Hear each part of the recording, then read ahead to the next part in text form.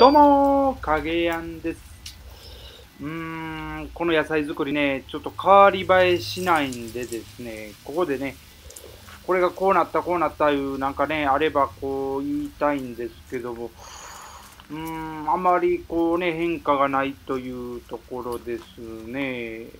こう、日は当たってるし、水やりもしてるというところですけども、うーん、どうなんでしょうか？もうちょっと待つんでしょうね。待っての結果を見たいですね。ということで、以上となります。ありがとうございます。